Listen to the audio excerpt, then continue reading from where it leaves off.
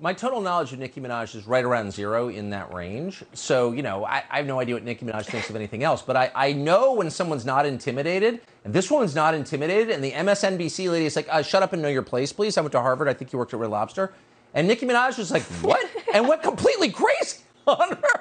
And it's just so interesting and heartening I love to see it. To see, to see someone who's not afraid in America.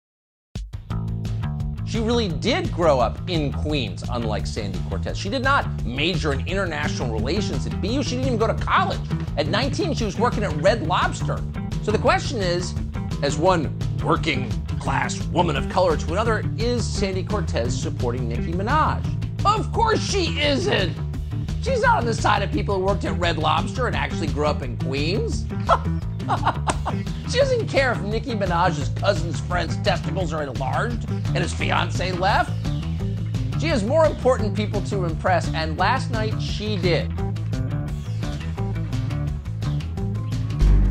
Well, if you've been awake at any point over the past 24 hours, you've probably seen the picture of Sandy Cortez showing up at a $30,000 a head gala in New York wearing a dress that says tax the rich across the back. So Cortez claims she wore the outfit to start a conversation about what it means to be a quote working class woman of color, and not at all she would stare at a picture of her butt. That's her view. Have you seen the back? No. We have a may I? message. Oh my God, tax the rich. What a model. when Aurora and I were first kind of partnered, uh, we really started having a conversation about what it means to be working class women of color at the Met. And, you know, while the Met is known for its, its spectacle, we should have a conversation about it.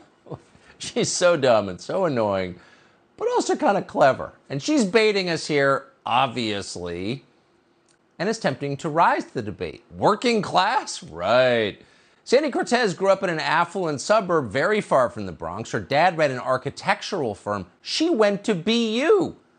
Like so many vapid rich girls, her primary interests are wearing trendy clothes and talking about herself. Working class? Please. Sandy Cortez is a paid defender of entrenched power. We could go on and on and on. On the other hand, if we did go on, we'd merely be feeding her narcissism. So tonight we're going to pass. That's it. No more Sandy Cortez talk. Instead, we're going to focus on the story of another female pop star who has suddenly joined our national political debate, and that would be rapper Nicki Minaj. She entered the conversation abruptly with this tweet yesterday, quote, "My cousin in Trinidad won't get the vaccine because his friend got it and became impotent," she wrote. His testicles became swollen. His friend was weeks away from getting married. Now the girl called off the wedding. So just pray on it and make sure you're comfortable with your decision, not bullied.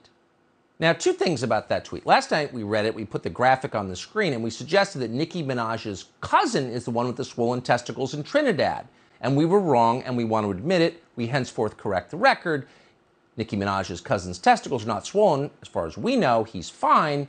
It's Nicki Minaj's cousin's friend's testicles who are swollen from taking the vax. That's the claim.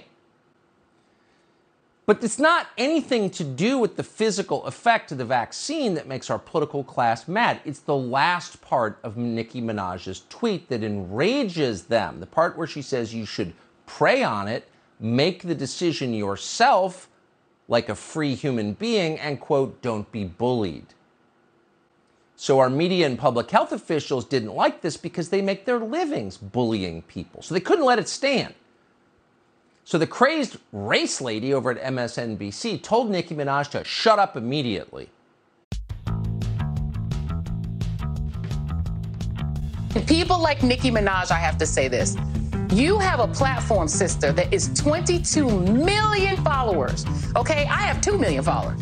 You have 22 million followers on Twitter. For you to use your platform to encourage our community to not protect themselves and save their lives, my God, sister, you could do better than that. For you to use your platform to put people in the position of dying from a disease they don't have to die from, oh my God. As a fan, as a hip hop fan, as somebody who is your fan, I'm so sad that you did that.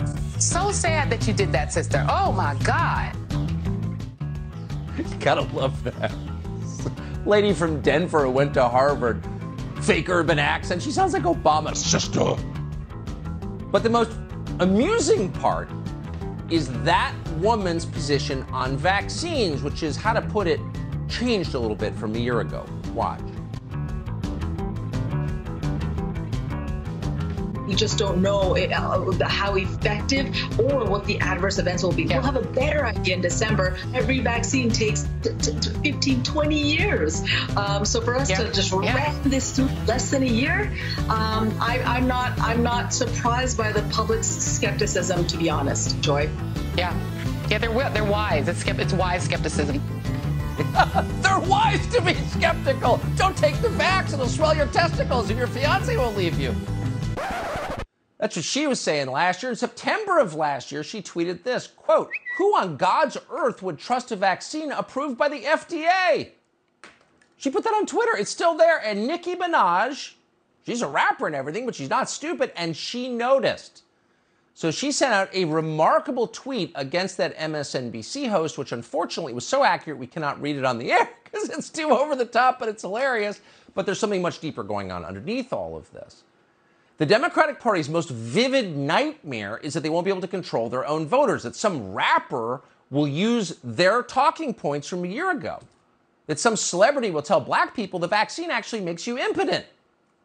And now it's happened, and it's actually a problem for them because Nicki Minaj's audience doesn't watch Fox. They're not diesel mechanics in rural Georgia.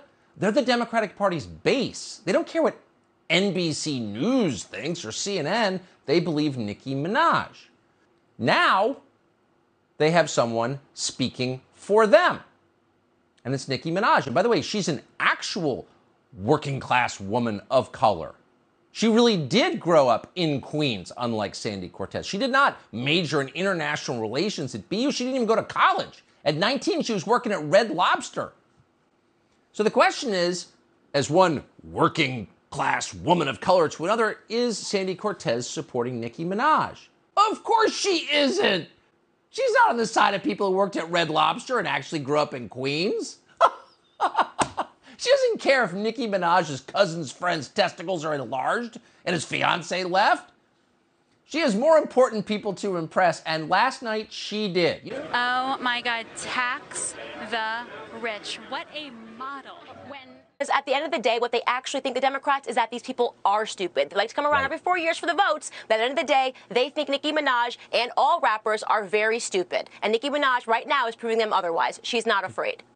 no, she's definitely not afraid. She's a savage, actually. I'm not on Twitter. It kind of made me want to get on Twitter. It was just so. Before we get to the next segment, we haven't been able to figure out whether this show is broadcast in Trinidad.